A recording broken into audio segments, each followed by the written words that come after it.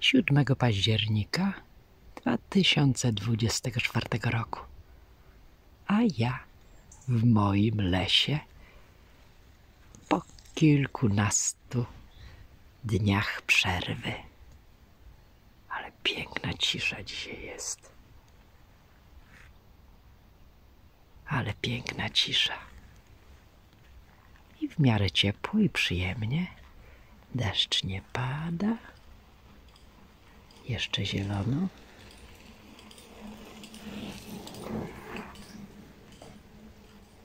Przyjemnie, ale październik to wiadomo, musi się rozkolorować. Niedługo. Nie ma takiego słowa, wiem. Rozkolorować, rozkolo. No, musi stać się kolorowy. Piękny dzień. A ja mam temat taki, uważam, bardzo interesujący. Usłyszałam ostatnio takie zdanie. Ty żyjesz tak, jak wszyscy, a ja żyję po swojemu. Muszę powiedzieć, że znam kilka osób, które żyją po swojemu. I zawsze tacy ludzie, którzy żyją po swojemu, którzy nie podporządkowują się do końca pewnym schematom, pewnym normom, no, postrzegani są bardzo często jako dziwadła, dziwacy, jacyś oderwani od rzeczywistości, jacyś inni, a czasami podejrzani i zwykle nastawienie do tych ludzi jest takie raczej niepozytywne. Raczej przyczepialibyśmy im różne etykietki, różne łatki, które z całą pewnością określają, że my to, hmm, my to wiemy jak żyć. My to naprawdę stosujemy się do sensownych reguł, yy, obyczajności to wszystko u nas jest uporządkowane i takie jak trzeba.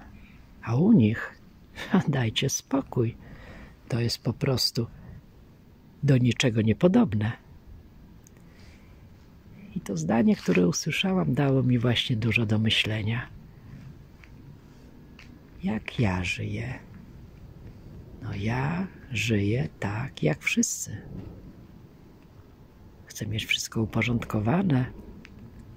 Postrzegam siebie jako osobę, która stosuje się do tego, co, co wypada, co nie wypada, i tak dalej, i tak dalej. Ale przyznam się szczerze, że to usłyszane zdanie pobudziło mnie do refleksji. A co, gdyby moje życie wyglądało inaczej? Gdybym umiała czasami właśnie odejść od tych schematów, które niekiedy wiążą, paraliżują, są niewygodne albo generują jakieś stresy. No ale nie wypada, więc się muszę podporządkować. Ale w takich naprawdę czasami mało istotnych szczegółach. A człowiek się zadręcza. Co powie ta pani sąsiadka, jak ja bym to czy tamto? Albo to, yy, jakbym gdzieś na ulicy wyszła ubrana, gdzie kompletnie nie pasuje, żeby 66-latka tak wyglądała. Aha. To są takie drobiazgi, bo tak naprawdę chodzi o, o coś innego. O to nie trzymanie się sztywno tych wszystkich reguł, tych wszystkich zasad, tych wszystkich hmm, przewidywalnych, zwyczajnych norm, że czasem chyba trzeba dokładnie to przemyśleć. Czy jest to dla mnie aż tak wygodne? Czy to jestem ciągle ja? Czy przystosując się, podporządkowując się, czy jestem w tym autentyczna? Bo powiem szczerze, te osoby, które obserwuję, które żyją po swojemu, sprawiają na mnie wrażenie osób bardziej autentycznych, zgodnych ze sobą, bardziej zgodnych ze sobą niż ja. Tak zwyczajnie. Tak po prostu. I nie powiem. Czasami budzą moje zdziwienie, czasami podziw, czasami niedowierzanie. To tak można? Naprawdę? A tak, jeśli przy okazji nikogo nie krzywdzę, nikomu nie robię przykrości, nikomu nie robię wbrew, to czemu nie? To jestem ja. O, tu piękna ptaszyna przyleciała. No ciekawe, czy się spłoszy z takim pięknym brzuszkiem, ale tak cudownie jest dopasowana do koloru tego leśnego podłoża. O, właśnie, że widać tego na moim filmiku, tego stworzonka pewnie nie będzie. Ale wracając do mojego bardzo interesującego tematu, trochę zazdroszczę,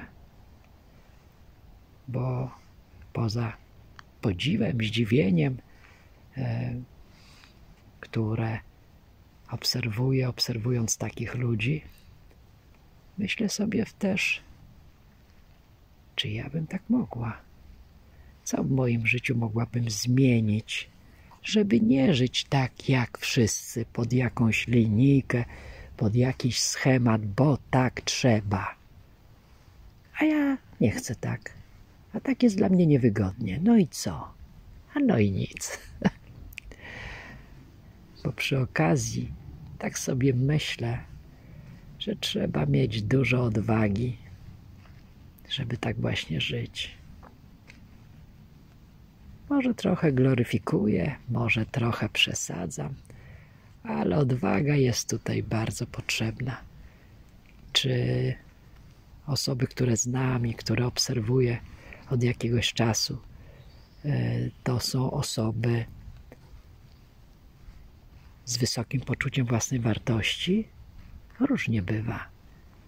Czasami tak, czasami nie. Czasami objawiają, że, że po prostu coś dla nich jest trudniejsze, bo poczucie ich własnej wartości nie jest takie do końca błyskotliwie wysokie. A mimo to jednej rzeczy nie chcą zmienić.